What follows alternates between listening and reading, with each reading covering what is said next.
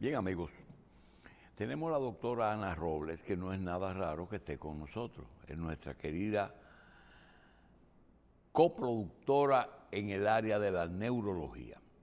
También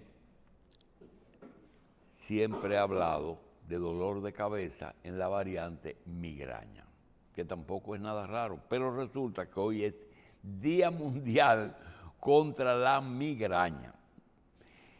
Quiero decirle a la doctora algo, que ella sabe, pero que nosotros queremos que ella o difiera de lo que le vamos a decir o nos ayude a ratificar algo que hemos creído.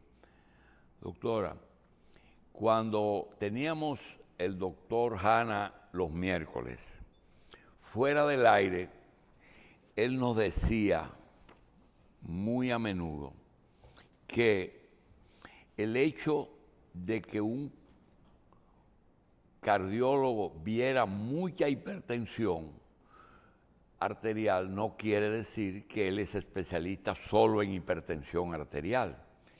Y si un oncólogo cirujano operaba mucho colon o muchos senos, no quería decir que solamente era especialista en operar colon o senos, sino que esas son enfermedades frecuentes en esa especialidad. Lo mismo con respecto a la neurología. Usted cada día que viene nos describe problemas en diferentes enfermedades que son propias del sistema nervioso. El hecho de que hayamos hablado mucho de migraña no quiere decir que la doctora Robles es especialista solo en migraña, sino que es neuróloga. Y para comenzar, queremos pedirle que como hemos hablado tanto de migraña, hoy Día Mundial de la Acción contra la Migraña, también nuestro querido amigo desaparecido decía que cuando se va a consulta, normalmente la rutina nos dice antecedentes familiares, antecedentes personales y el motivo de la consulta. Sin embargo, estaba preocupado porque cuando estábamos en la universidad, la palabra inmunología no existía, no había una materia. Eso apareció en la generación de la doctora Robles. Y que él les recomendaba a los médicos, a todos, no solamente a los nuevos, sino a todos, que independientemente de los antecedentes, que piensen un momentico en tres cosas siempre, no importa la especialidad de la consulta, en la genética del paciente, en la inmunología, en las defensas del paciente y en el tiroides. No sé, nunca pudimos hablar por qué el tiroides. Es que son muchas veces causas o tratamientos que el médico debe de por lo menos pensar en ellas. Doctora, Gracias por estar aquí. En la migraña hay que pensar en esas tres cosas o no es necesario en la migraña pensar en la genética, en la inmunología o en el tiroides.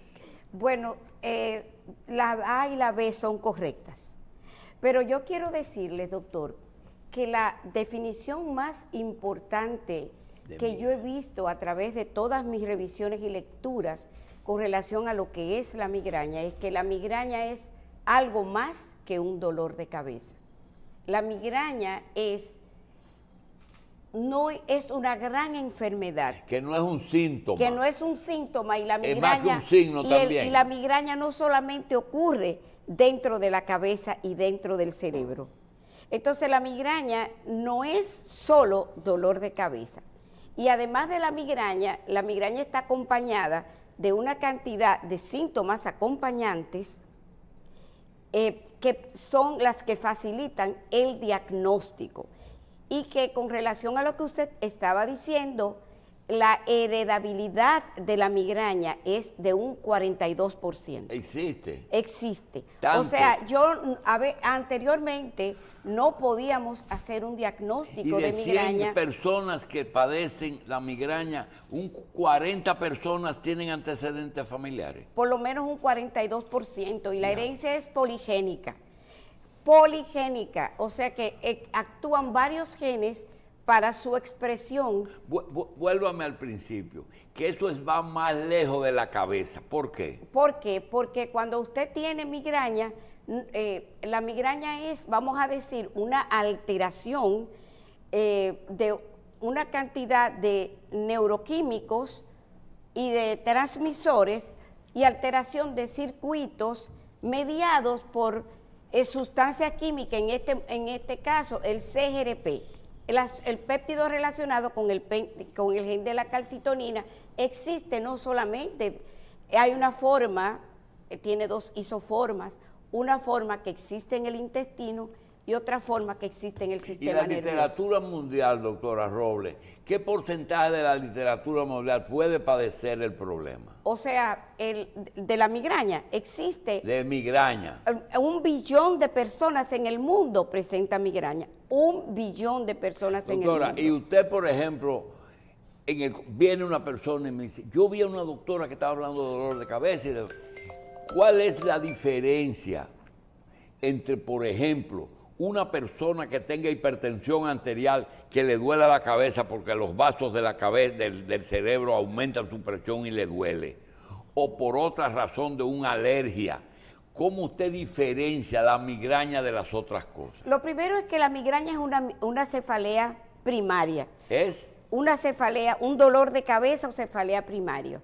Y antes, de, por cada 10 pacientes que yo vea, nueve tendrán migraña y un paciente solo tendrá una cefalea secundaria. Entonces la clasificación internacional del dolor de cabeza tiene tres acápites.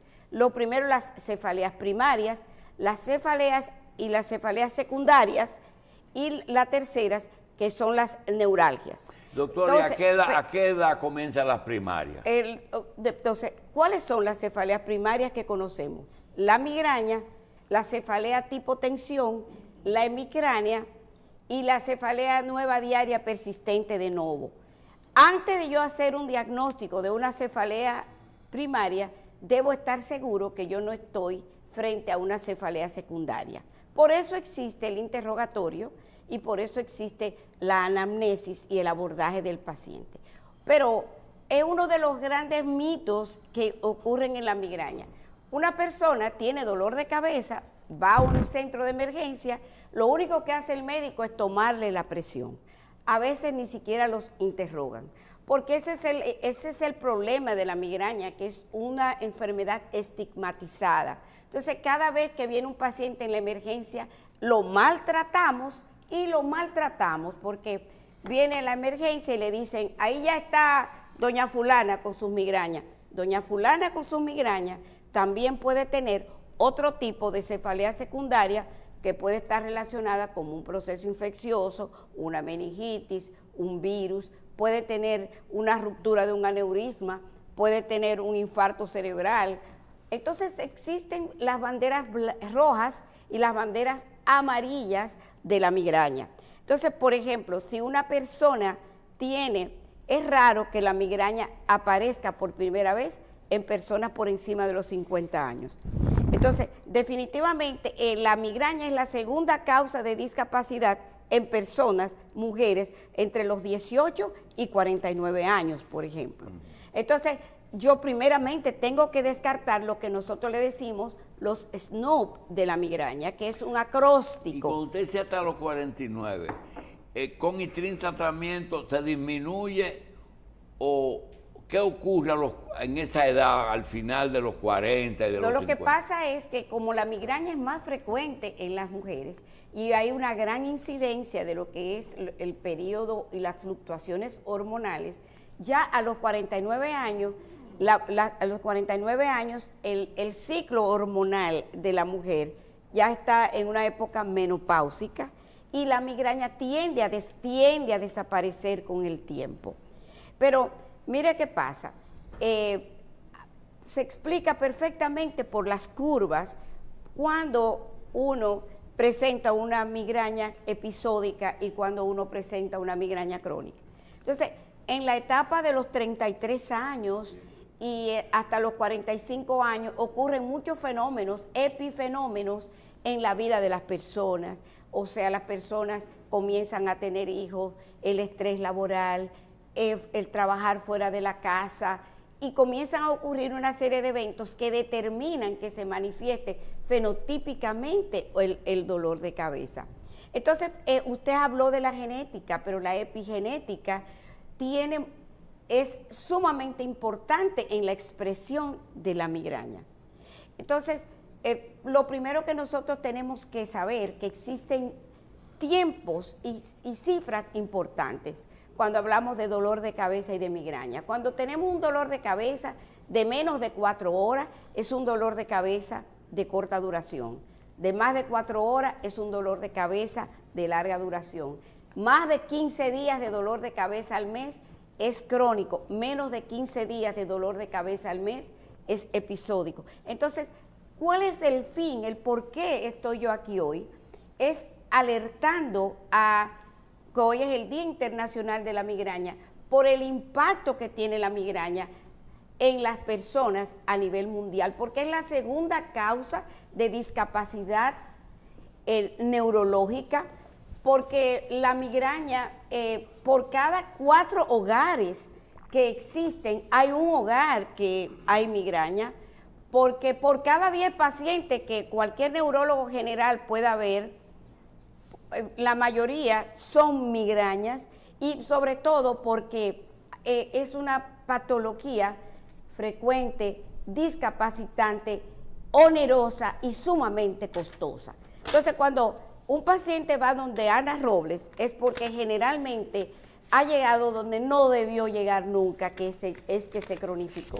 Pero porque con mucha frecuencia es tan maltratada que una persona ah, no, ella lo que tiene es migraña. Sobre todo, la mayoría de los pacientes de migraña están sin diagnosticar. Y si están sin diagnosticar, la mayoría de pacientes están muy maltratados. Doctora, hay, hay algo, un paréntesis, queremos hacer, porque tengo una discusión con Carlos. Cada vez que leemos efemérides, vemos, hoy es día de la lucha contra el dolor, la migraña. Hoy es el día, realmente, cuando se declara un día mundial contra una enfermedad, debemos celebrarlo, festinarlo, llorar. ¿Qué debemos hacer? Porque yo no entiendo qué significa eso. Eh, no, eso significa... Es como el Día de las Madres, todos los días el Día de las Madres. no, bueno, sí, pero hay un día que se elige para enfocarse y dedicárselo a, a, esa, a, ese, a esa persona, ese ser humano que se llama mamá. Ah. Pero hoy... Eh, por las iniciativas de una eh, persona que se llama Terry Roberts. Ella es una, eh, una persona, es una influencer y muy importante. Se decidió que el 12 de septiembre es el día de la concientización de la migraña.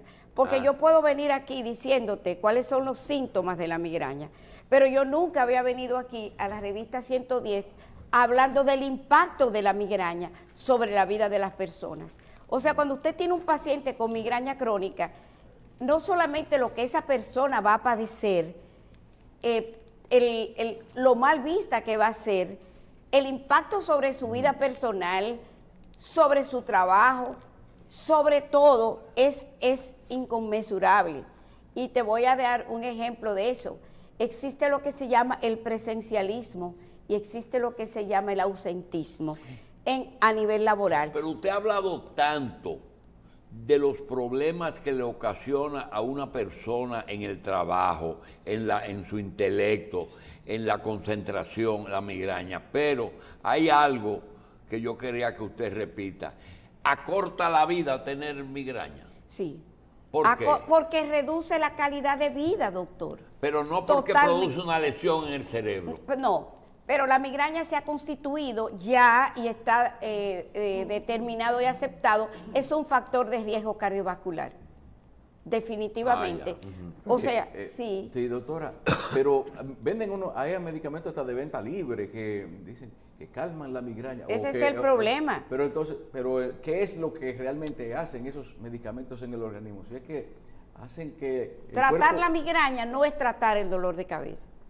Tratar la migraña. Esos son medicamentos para dolor de cabeza, no para el... No, porque hasta ahora todo lo que conoces han sido medicamentos que quitan cualquier tipo de dolor de cabeza.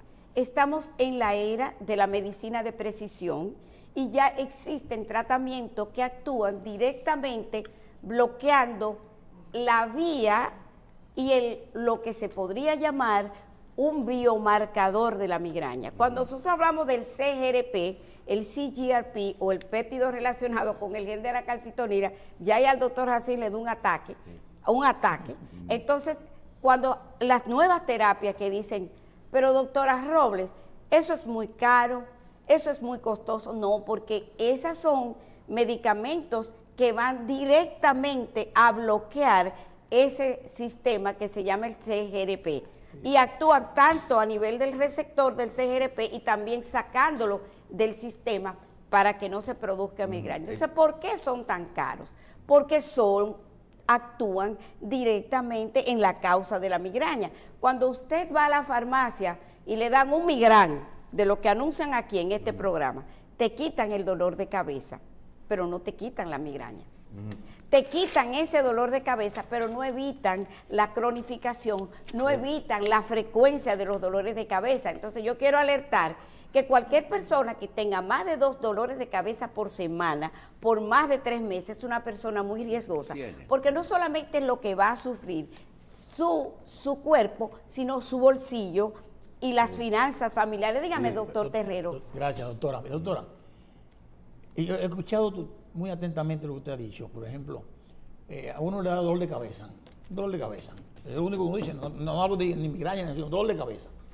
Y tenemos, ya dijimos que si vamos a la emergencia, la emergencia ay, llegó el señor con lo mismo. O sea, que parecería que ir a la emergencia por un dolor de cabeza no, no, no, no hace nada. Ahora, tenemos nosotros un teléfono inteligente, un, un, reloj inteligente que nos toma la presión y le pregunto si en ese momento yo me tomo la presión y puede ver algo anormal, entonces yo diría, bueno, esto ya no es un dolor de cabeza. ¿Qué podemos hacer uno como paciente, obviando la emergencia y poder quizás llamando a su médico de cabecera para decirle, esto parece que no es un dolor de cabeza tan simple como tal. Eh, mire, mire, señor Terrero, las personas cuando ya, incluso yo creo que eso viene desde la formación mala, eh, desde las universidades. Eh, fulano está en la emergencia y se le tomó la presión rápido, mal probablemente, no tres tomas, tiene la presión alta, por eso es tu dolor de cabeza. Las características del dolor de cabeza producido por un aumento de la presión es diferente.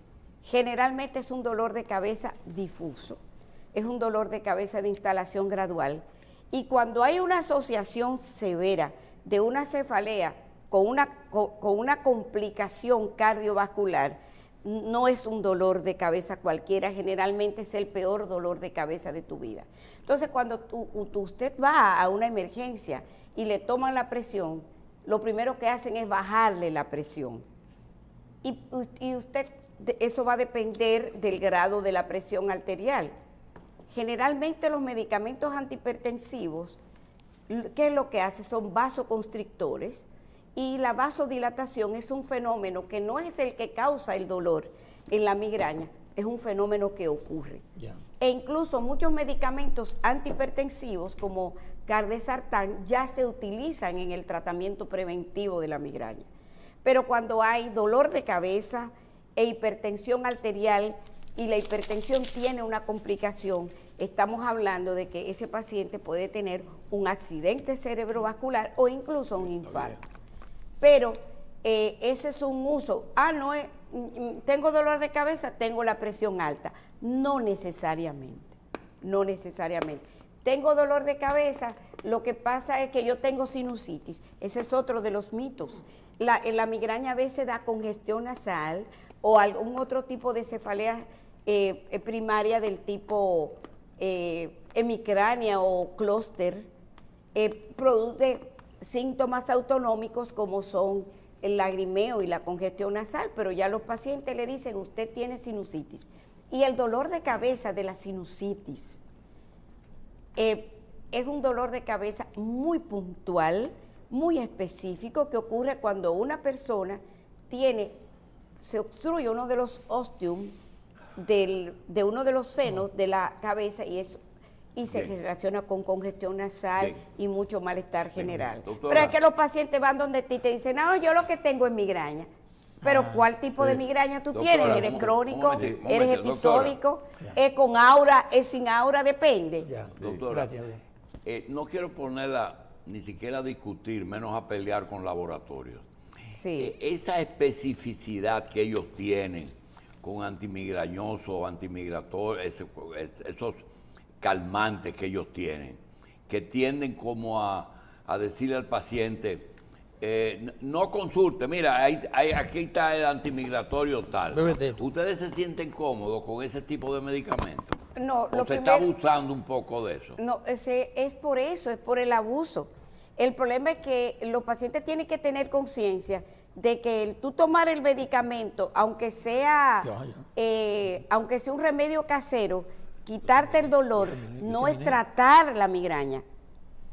Porque cuando te quitas el dolor agudo, esa, eh, ocurre una serie de cambios a nivel cerebral. Entonces tú tienes que dar un medicamento para detener ese proceso y esa cascada que ocurre dentro del cerebro y que tú no tengas dolores de cabeza. O sea, mira, te, quitas el dolor de cabeza en este momento y, en las próximas 24, eh, 72 horas vuelve otra vez a tener dolor de cabeza entonces ese es un problema.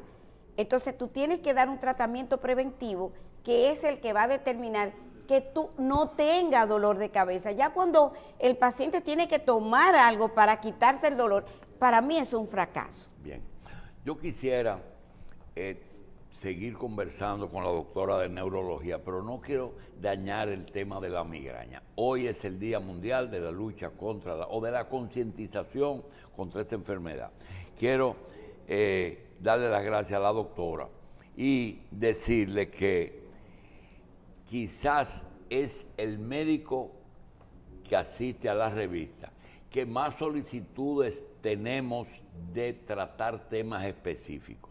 Doctora, específicamente de la enfermedad esa de Lou Gehrig, ¿cuál es? El ELA. Eh, eh, esclerosis lateral amiotrófica. Nos preguntan demasiado de eso. Parece que la gente, más que tenerla, tener el temor de tenerla. Así es. Bien. Así Doctora Robles, hay que hablar mucho de eso. Gracias. Quiero también darle las gracias a una persona que nos trajo un libro de Aníbal de Castro con unos textos seleccionados por Margarita Cordero, que es una maravilla. Así es que gracias a esta persona muy querida y, y, Aníbal, como siempre, a ver si logramos que don Aníbal de Castro venga a conversar con nosotros. Ah, pues yo hablo con él. Amigo de toda la vida. yo hablo con él. Bien. Abrazo a Aníbal y a Margarita.